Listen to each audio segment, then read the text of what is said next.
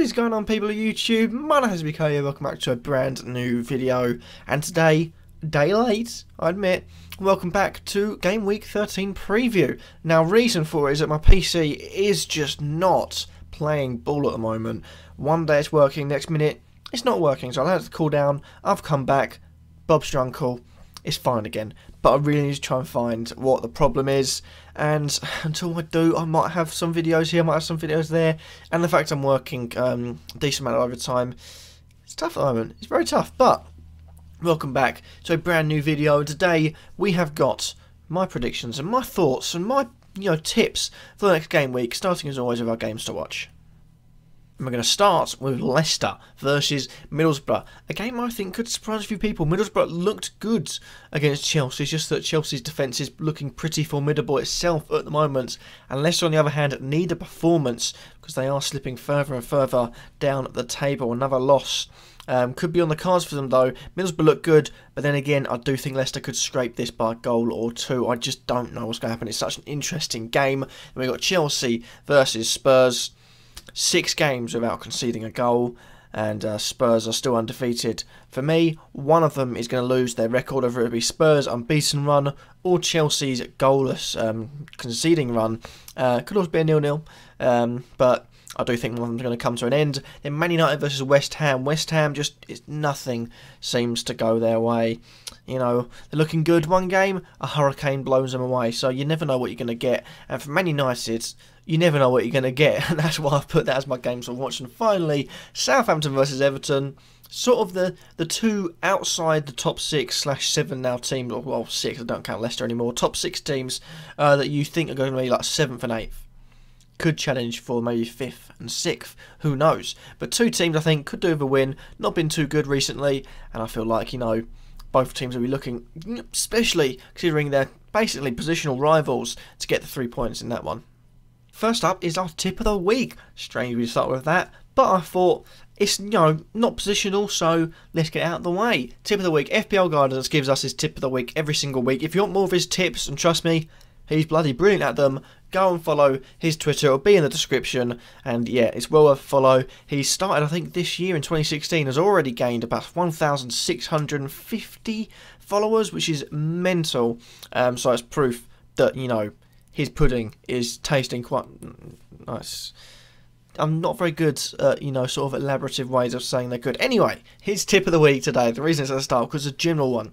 He says tip of the week is a more general one, not to get drawn in by players who have had one or two game weeks. Top point scoring goalkeeper was Federici, not first choice. Defender was Ake, also not first choice. Yaya Toure, better options in his price range, especially given Sigurdsson. And Anichebe, never been prolific in his career. I'm not saying don't transfer in these players, but be aware they may not provide consistent point returns it provides it's a very good point. It's something that I made on yesterday's video on FP my um, hashtag uh, FPL season, I believe it was. Um, you look at Anichebe, you know he's cheap, he's scoring goals at the moment, but in his career, the most he's scored is six in a whole season. So he's halfway through his total. If he scores a hat trick in the next game week, get him out. Get him out. His, his, his scoring is done. Uh, but it's a very, very good point. Don't get drawn in by one or two good game weeks, or the price rise could be there. I have done that with Gundogan, and now he's not playing. But it's worth noting that these are definitely good points. If you want more of them, follow his Twitter. It's on the screen. It's also in the description. Yeah, let's move on with the video. Starting off with our goalkeeper this week is Petr Cech. Now, Arsenal have not been their clean sheet ways this season. Neither has any team. It's been a very high scoring season, but Arsenal have not been themselves when it comes to, you know, keeping clean sheets. But I feel like Petr Cech at £5.5 million is definitely probably your second best bet at the moment. Courtois is easily out in front.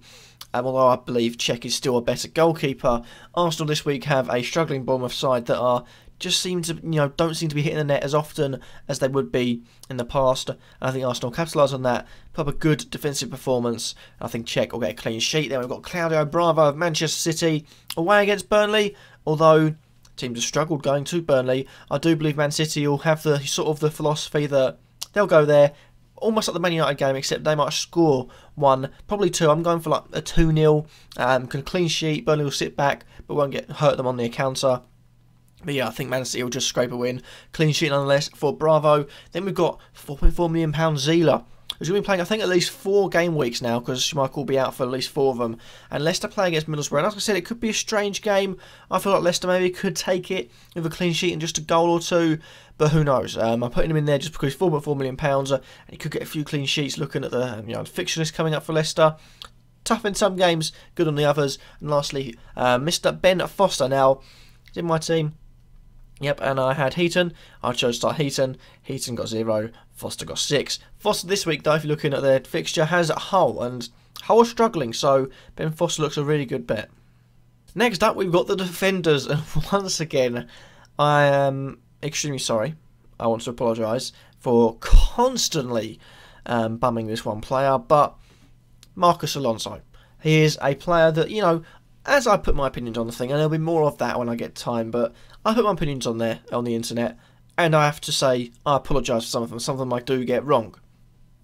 Alonso being one of them. When he transferred to Chelsea, I thought it was strange. He wouldn't get much playing time. He just could be a new Baba Rahman, play for a few games, get, you know, pulled out to the loan system for the rest of his days as a footballer. He's doing quite well. Chelsea, I feel like I get a clean sheet against Spurs. If I'm going with my gut, I think they're going to get a clean sheet. So for that, I'm saying selected, you know, just by a minimal amount of people. I think just over the differential range uh, is definitely worth it. If you want a more differential um, defender, and David Luiz, I was going to put him on differentials and my game well this game week because he is he was 6.0. Check today, he's 6.1. So yeah, David Luiz also could be a good option. Any Chelsea defender could be a good option. They're all £6.1 million. Then we've got Nathaniel Clyne, who's gone up as well, £5.6 million. This is the Liverpool midfielder, um, defender, sorry. Um, but he comes in, going at Sunderland, I feel like could get a clean sheet, maybe not, because Sunderland like to score, Liverpool like to concede. However, he looked good in the attack against Southampton, despite not getting a goal or assist. Um, I feel like if you know they're going to concede quite a lot, Sunderland, Clyne also could get on the action. Then we've got Jenkinson. Reason being is a cheap way into the Arsenal defence for at least the next few game weeks as Bellerin is out for the foreseeable, I believe, three or four game weeks. So that looks good for him. Then we've got John Stones. Again, it's a risk to have a Man City defender in there, but and also John Stones didn't play, so that's a really weary one. Fingers crossed he can play, but five million pounds to get you into the City defence. I think they could be improving from now, um, but yes, it is always going to be a strange one. And then we've got Mr. Fuchs of Leicester. He's probably the most. I think he's the most expensive Leicester defender, but he gives you an attacking, uh, you know, reign as well as a defensive one. I think Leicester could get a few goals, maybe a clean sheet. Who knows? And I apologise for the cough. Lastly, Chris Brunt. Now there are cheaper West Brom defenders. McAuley, for some reason, keeps on going up or kept, kept on going up. You've also got Nyom, who's playing quite a few games and £4.3 million, and Jonny Evans also, I believe, is the back um, for. Uh, I believe there might be Craig Dawson in there as well, but there's a fifth defender in Brunt because he plays in left wing. Now, if they can start, you know, shutting up shop like the Pulis you know, of old um, did, and also scoring goals like they have been, they've scored just one less than Manchester United this season. Brunt could get on the action defensively for a clean sheet and also attacking because he's in left wing spot, so definitely, definitely worth bringing in. £4.9 million from midfielder playing in defence, I think, is an absolute bargain. Well, my, my, my, have I waffled on this video. Let's go on to the midfielders. We haven't got many left. We've only got five midfielders and four attackers, I know. It's very, very, uh, you know, low numbers this week. But Sigurdsson comes in for Swansea. Swansea have a game against Crystal Palace. And I do think Sigurdsson's probably their best player at the moment. One they can really hinge their hopes on. And if anything's going to go into the net, it will be through Sigurdsson, uh, from Sigurdsson to Sigurdsson. That's basically all I can say about that. Next up, we've got Coutinho and any Liverpool midfielder. Liverpool have got Sunderland. I mean, you're looking at a cricket score for that one, and, and there's probably going to be not out as well. So, who knows uh, what Liverpool could score in that game? It could be monumentally disruptive for Moyes' uh, you know two-game winning streak. He's not going to get a third, most definitely. Next up, we've got Kevin De Bruyne, Man City player. He's grabbing assists and goals uh, not on a you know completely regular basis, but a good enough basis. He's quite expensive, but I feel like if anyone's going to find a way for a very very tight defence, it's a man with the quality of Kevin De Bruyne. And then Matt Phillips comes up next. West Brom valued at 5.1 million pounds, and I do believe West Brom are going to start improving against Hull. They like to concede. West Brom hopefully get a clean sheet, gives you three points for him. Goal and assist again, maybe three games weeks running. That's another at least 10 points. So yeah, really good game we think could be coming up for Phillips. And lastly, Roberto Pereyra, someone that I put my faith in um, at the start. He came to you know his first three game weeks, I think a goal and two assists or two goals and assist. Went quite a bit. Now he's back, looking good. And Watford play against Stoke. I do feel like Stoke will be a bit wary at the back, but also could be solid. So Roberto Pereyra is a bit of a risk. And lastly, they've got the attackers, so I'm really going to speed up on this one. Jermaine Defoe comes in from Sunderland, and yes, Sunderland are going to get smacked by Liverpool, but Defoe will most probably get a goal against a very, very leaky defence. Positive. Rondon, uh, the West Brom man, is absolutely disgusting. Reason being, playing against him would be hell for any defender. Um, you know, how big or how small you are, he's going to absolutely run you ragged. Uh, Darren Fletcher's come out and said he's a main focal point of their team, obviously, and I feel like he is definitely going to be in the goals against Hull. Maybe assist as well, who knows. Um, we've also got Modou Barrow, bit of a risk um, in the last two. Uh, Barrow comes in at £5 million. Um, he still seems to be in a favour. I'm not sure how it's going to last, so it's a bit of a risk in that one. But Palace likes to concede goals, and Barrow, I think, could set up a few, maybe even grab himself a goal this time round. And lastly, Sergio Aguero. He is a massive risk because I kept him in my team just because I thought he'd do well against Palace, didn't grab a goal or assist. I'm really tempted to keep him in my team this week, hoping, hoping upon hope he gets something uh, I've got two free transfers. I might use my free transfer and bring in Phillips in. But yeah, Aguero is definitely one to consider. But I say it is a risk.